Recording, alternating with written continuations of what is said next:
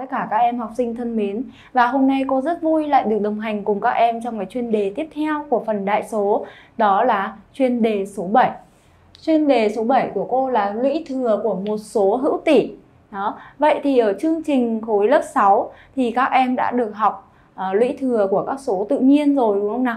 Vậy thì uh, lên chương trình lớp 7 thì chúng ta sẽ được mở rộng cái tập hợp đó ra Đó là uh, tập hợp quy các số hữu tỉ đúng không nào? Vậy thì lũy thừa của tập hợp các số hữu tỉ của số hữu tỉ thì nó có khác gì so với lũy thừa của số tự nhiên thì chúng ta sẽ cùng đi tìm hiểu chuyên đề ngày hôm nay nhé. Và bây giờ đầu tiên như mọi khi cô sẽ đưa ra cái mục tiêu của chuyên đề ngày hôm nay như sau. Mục tiêu của chuyên đề ngày hôm nay đó là các em sẽ ôn lại cho cô lũy thừa với số mũ tự nhiên này. Đó, tức là chúng ta cũng sẽ uh, ôn lại những cái lũy thừa của một cái số uh, tự nhiên. Sau đó thì làm sao nhỉ? Từ từ đó chúng ta sẽ suy ra lũy thừa của cái những cái số hữu tỉ. Chưa? Thứ hai đó là nhân chia hai lũy thừa cùng cơ số. Thứ ba đó là lũy thừa của lũy thừa. Và cuối cùng đó là chúng ta sẽ đi vận dụng các cái kiến thức này để chúng ta làm cho cô các bài tập cơ bản và nâng cao nhé đó. bây giờ chúng ta sẽ vào cái phần đầu tiên đó là phần kiến thức cần nhớ như sau. Phần kiến thức cần nhớ, đầu tiên đó là lũy thừa với số mũ tự nhiên. Đó, với số mũ tự nhiên, tức là các số mũ này đều là các số tự nhiên. Được chưa? Rồi thì bây giờ chúng ta sẽ có lũy thừa bậc n của một số hữu tỷ người ta sẽ ký hiệu là x mũ n. Trong đó thì là x là cơ số và n là số mũ đó. Và lũy thừa bậc n của một số hữu tỉ này, nó là tích của n thừa số x. Và như cô đã giải thích rồi, đó là x là cơ số và n là số mũ. Và ở đây điều kiện đó là gì? N là số tự nhiên lớn hơn một. Được chưa? Thì x mũ n sẽ bằng x nhân x nhân x nhân x nhân chấm chấm n thừa số x. Được chưa? Rồi. Và x của cô thuộc tập hợp số hữu tỉ.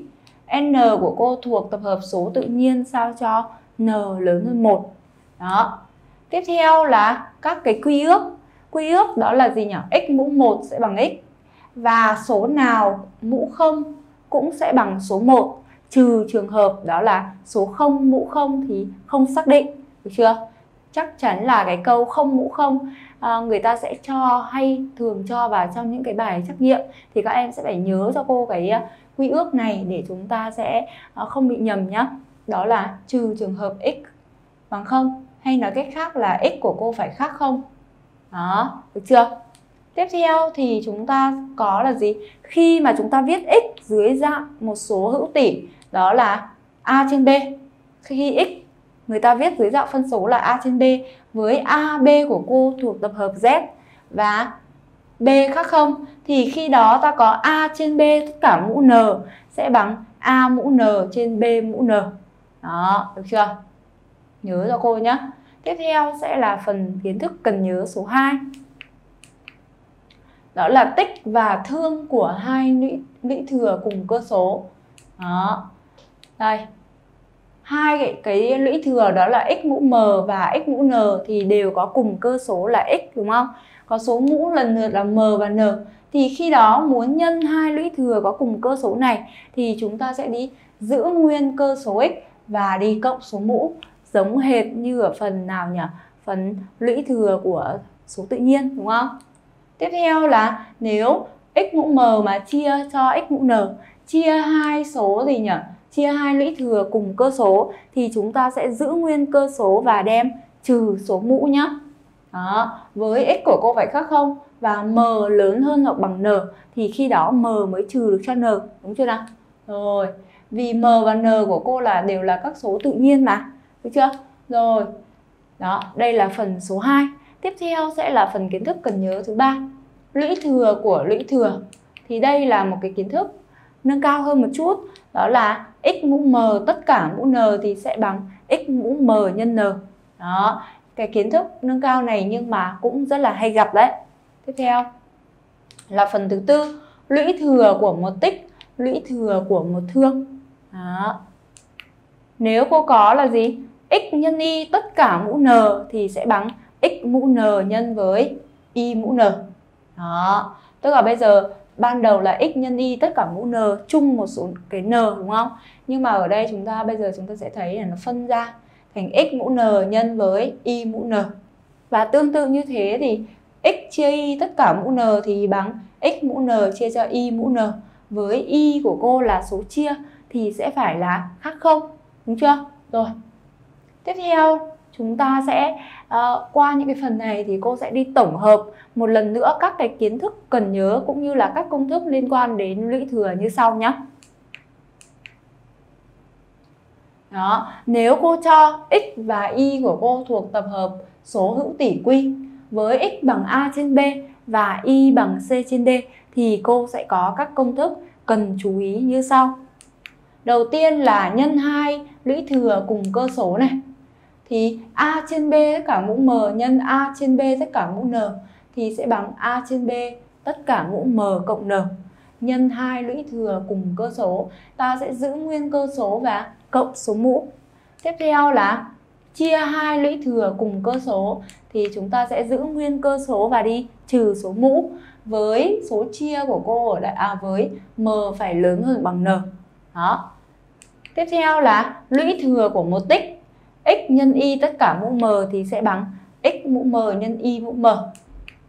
Tiếp, lũy thừa của một thương đó, thì cũng x chia y tất cả mũ m thì sẽ bằng x mũ m chia cho y mũ m. Và số 5, lũy thừa của một lũy thừa x mũ m tất cả mũ n thì sẽ bằng x mũ m nhân n. Nhưng mà còn cái công thức số 6 này là cái công thức là gì? Nhiều bạn loay hoay là không biết làm. Đó, đó là lũy thừa với số mũ âm. Đó, các bạn nhìn thấy số mũ âm thì các bạn dạ, sợ ngay đúng không? Các bạn là không biết cách làm như thế nào vậy thì cô sẽ giới thiệu uh, cái cách chuyển đổi ờ, đó là lũy thừa với số mũ âm sang cái số mũ dương nhá. Như sau. Nếu ở đây người ta mà cho x mũ trừ n Khi mà người ta cho x mũ trừ n này Thì chúng ta có thể viết được dưới dạng là sẽ bằng 1 chia cho x mũ n Đó hoặc là nếu mà người ta cho x mũ n Thì chúng ta có thể viết được dưới dạng là 1 chia cho x mũ trừ n thì các em sẽ nhớ cho cô hai cái công thức chuyển đổi này để chúng ta sẽ cần dùng trong một số các bài tập nâng cao nhé. Đó, nhớ cho cô cái công thức mới này nhé. Rồi, và tiếp theo là chúng ta sẽ đi sang phần các dạng bài tập như sau. Các dạng bài tập này, trong chuyên đề này thì cô sẽ chia làm 6 dạng bài tập. Dạng thứ nhất là thực hiện nhân chia các lũy thừa. Dạng thứ hai là tính hay là cách khác là rút gọn biểu thức số có chứa lũy thừa. Dạng thứ ba là tìm số x chưa biết. Dạng thứ tư là tìm số mũ thành phần trong số mũ của lũy thừa. Dạng 5 so sánh hai lũy thừa và dạng cuối cùng là bài tập về giá trị tuyệt đối của một số hữu tỷ. Đó. Rồi, và bây giờ thì chúng ta sẽ lần lượt đi vào các dạng này nhé.